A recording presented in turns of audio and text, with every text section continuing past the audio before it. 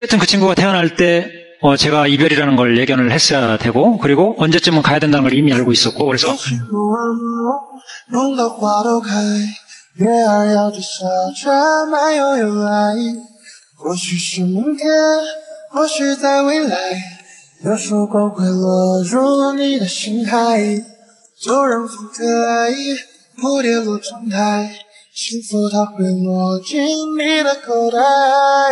阳光尽快，行驶自在，这么丽的风景也一定有人会青睐。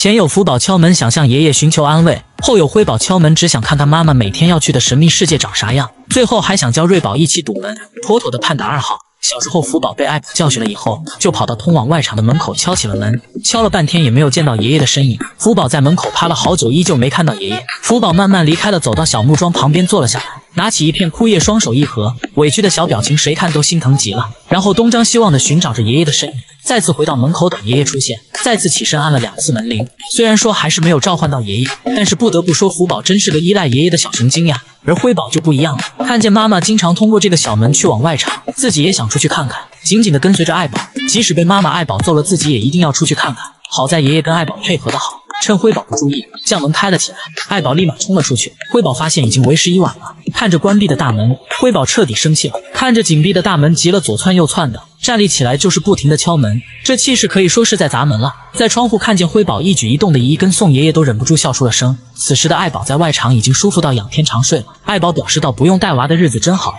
此时的辉宝已经叫上瑞宝一起堵门了，将爷爷此时赶了过来。辉宝请求爷爷给他开门，没想到爷爷是将他带走。营业时间老是躲在这怎么行？将辉宝放好后，又来将瑞宝抱走，没想到转身辉宝又跑了回来。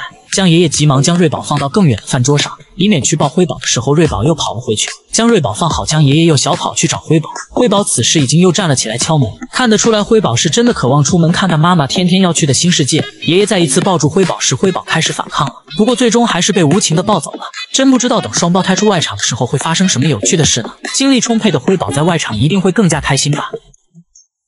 直到听见饲养员说“心大”这个词，我才知道福宝是个多么优秀的小熊。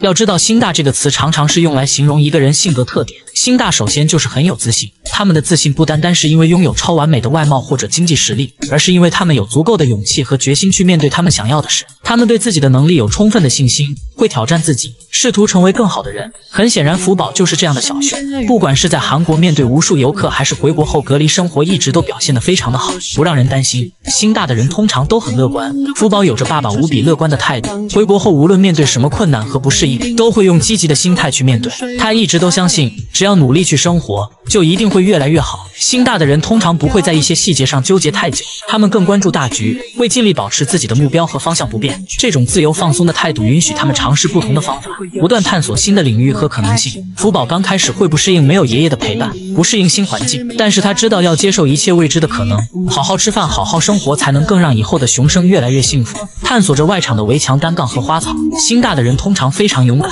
他们不会让任何困难或挫折击败自己，他们有足够的勇气去挑战自己。福宝就是这样，从刚回国的快速走动到平静稳定，从呼喊不应到有所回应，从不喜欢竹笋到接受竹笋，他一直都在勇敢适应新生活。最后，心大的人通常会给人留下深刻的印象，他们通常会散发出开放、自信、温暖和热情的气质。简单的来说，就是有魅力。福宝就是这样的魅力小熊。所以说，饲养员说福宝心大是对福宝极高的评价。福宝也很当担得起这个词。福宝这么优秀，少不了两位爷爷的付出。福宝从出生就被爱包围，一直都是幸福的小熊。如今回国的表现，更是展现出自己的魅力。相信过不了多久，福宝就可以和大家见面了。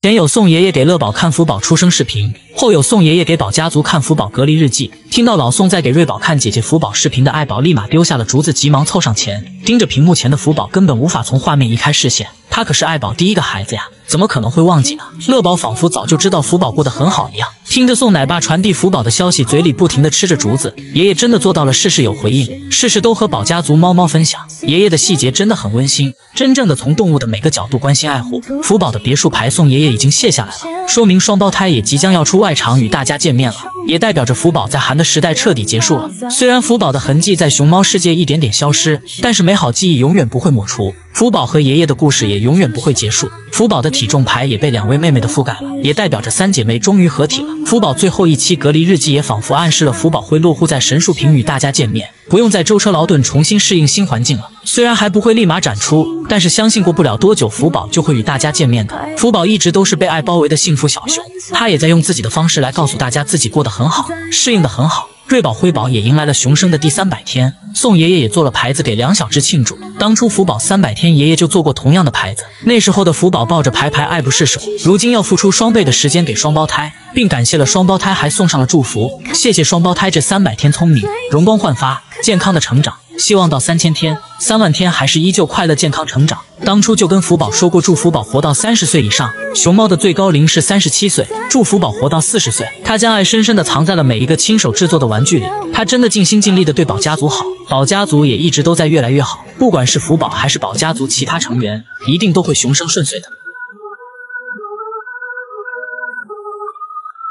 푸바오가 정말 좋은 엄마를 만난 덕에 아마 푸바오도 나중에 정말 좋은 엄마가 되지 않겠나라고 생각. 因为福宝遇到了好妈妈，我想她也会成为一个好妈妈。 直到听见江爷爷说出这句话，我才知道一个好母亲真的会影响孩子的一生。当主持人问到福宝也会成为像爱宝一样的好妈妈吗？江爷爷立马就说会的，因为孩子从小就跟母亲生活在一起，在童年时期大部分都会遗传妈妈所拥有的东西，如野性、习惯等，继承这些东西。爱宝是一个好妈妈，所以福宝也会成为一个优秀的妈妈。福宝一直都跟妈妈爱宝是等比例放大。福宝会模仿妈妈的动作。都说食物在爱宝眼里是很重要的，但是，一旦感应到福宝可能有危险，他会立马丢下竹叶，叼着福宝紧急逃窜，叼着福宝在房间不停地走来走去，直到危险解除。会传授一些野外生存的技能给福宝，在福宝还小的时候就教福宝要将排泄物掩藏起来，因为福宝现在的实力还不足以对抗敌人。爷爷都说爱宝将所有技能都教给了福宝，但是有一个忘记教了。就是没教福宝怎么打理毛发。都说乐宝爱干净但不优雅，爱宝优雅不爱干净，福宝则是既不优雅又不爱干净。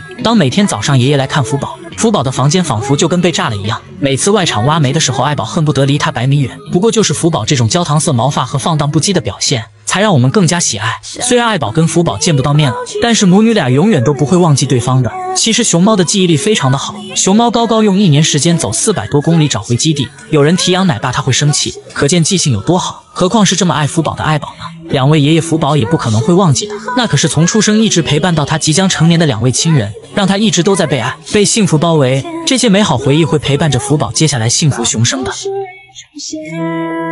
枫丹的竹子，福宝的毛发，直到看见宋爷爷收集的东西，我才知道爷爷真的爱福宝爱到骨子里去了。所有人都知道江爷爷的母亲在福宝回国前一天去世，却不知道宋爷爷父母在福宝还没出生就相继离世了。爸爸是在二零一五年离去的，那时候宋爷爷也是刚被通知调去熊猫馆。妈妈是在二零一九年离去的，在二零二零年福宝出生了，一切好像冥冥注定一样。他仿佛救世主一样照亮了爷爷，治愈他失去亲人的内心。所以从福宝一出生，爷爷就把他当做自己的孩子、家人一样对待，全心全意的付出，不求回报的对福宝好。这也是为什么福宝的离开对爷爷打击这么大。他不知道最后一天该怎么送他，微笑的送福宝离开是他的谎言。一车之隔的福宝是那么近又无比的远。福宝回国打扫福宝的房间，收集了福宝留下的竹子，掉落的毛发成为福宝留给爷爷最后的味道以及念想。好在福宝回国适应的很好，有好好吃饭，这才让爷爷的有些少许的安慰。但是思念之情久久不能消散。时常在照顾双胞胎时发呆，看着爱宝发呆。是啊，痛苦的不是福宝离开，而是要在这个充满福宝回忆的地方继续待着，处处都是福宝的影子。福宝摔下树没接住，一直让爷爷自责到现在。他毫不犹豫地冲向福宝图走去接，丝毫没考虑后果。看见福宝害怕委屈跑到爷爷怀里，爷爷心疼不已，就连梦里都时常出现这个场景。如果自己再快一点就好了，就可以接住福宝了。这是爷爷的想法。三年多一百多件的玩具礼物，并不是很贵重，但是充满了无限的爱意。在战姐的狙击下，福宝也是终于出现在外场了。看来福宝对新环境充满了好奇，相信过不了多久，福宝就可以与大家见面。猪猪在好好的适应新生活，希望宋爷爷也能早点走出阴霾，迎接新的生活。直到看见福宝回国第四天，爱宝乐园还在更新福宝的日期，宋爷爷还带着福宝徽章，我才知道他们真的很爱福宝。一千三百五十六天，体重也从一百九十九斤变成了永远的福福。爱宝乐园的樱花已经开了。但是却没有了福宝的身影。宋爷爷带了一只樱花给瑞宝、辉宝看，脑海里却浮现的满满都是福宝的画面，就连走独木桩都心不在焉。在和辉宝互动时，突然的发呆让人无比心疼。要不是辉宝咬宋爷爷，一阵疼痛感让他回过神来，怕是会一直沉浸在和福宝的回忆中。去年四月份，爱宝乐园也是开满了樱花。江爷爷将樱花搬到了福宝的饭桌后，露出了得意的笑容。这也是我们福宝第一次看到樱花，在樱花下的福宝格外的漂亮。与其说樱花是爷爷送给福宝的礼物，不如说樱花是福宝给爷爷留下的美好回忆。福宝捧着樱花变成了樱花少女，爷爷的彩虹屁也是一刻也没有停。可是福宝再也收不到爷爷送的樱花了。有人觉得宋爷爷的状态有点夸张了，但是如果你亲手养大过宠物，你就会真的理解为什么宋三岁会突然开心不起来。何况他是把福宝当做孙女来养。其实最难受的不是福宝回国了，而是要每天在那个充满和福宝回忆的地方工作。那棵福宝爬过的树，睡觉的木床，伤害过的南川宝。走过的独木桩，福宝不在，福宝又无处不在。大家都以为江爷爷比较坚强，但是生离和死别同时出现，谁又顶得住呢？听说回国的时候，爷爷偷偷靠在窗上哭，飞机餐也没有吃。要不是同行人和爷爷聊了很久，真不知道爷爷这路上会有多么的难受。不过福宝现在也是非常让人放心，姨姨们每天八倍镜狙击着新奶爸工作，看不到福宝，看见奶爸清理福宝的青团都开心到不行，谈论个不停。看到这么多人关注福宝，我也是非常开心。大家也不要给奶爸太大压力，相信奶爸一定会照顾好我们福宝的。最后，希望基地可以多多更新小福的高清长视频，来治愈我们忧郁烦躁的心。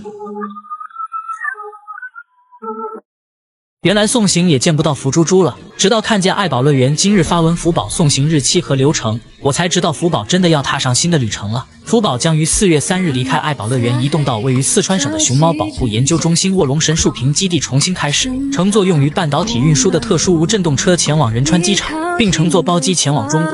爱宝乐园计划移动当天上午十点四十分开始，大约二十分钟的福宝送行时间，以便与粉丝一起支持福宝新的出发。但是是看不见福宝的，虽然不能亲眼见到车辆内部的福宝，但是乘坐福宝的车辆站在路边的姨姨们可以从熊猫世界到玫瑰园慢慢移动。熊猫世界的饲养员们将在玫瑰园做作为代表跟大家简单的传达问候。江浙园饲养员会跟随福宝以及熊猫研究中心的专家一起乘坐包机一起移动到神树坪基地。时光流逝，福宝在韩只剩最后一个星期就要离开这个生活三年多的熊猫世界了，要离开最爱他的宋爷爷和妈妈爱宝了，离开那个高冷帅气的背影大叔，离开两个从未见过面的双胞胎妹妹，离开将最好竹叶留给自己的圣希姨，离开爱他的无数站姐和粉丝姨姨们。自此一别一生，爷爷做的玩具都还在，就是院子里再也不会出现那个可爱小熊的身影了。爷爷的铺宝二零幺室也只会传来空荡荡的回忆。在爷爷的视频也不经意透露出，接管福宝的饲养员应该是一位奶爸。相信奶爸的压力也是很大的，毕竟福宝可是超级顶流熊猫，不需要福宝有多大的山头，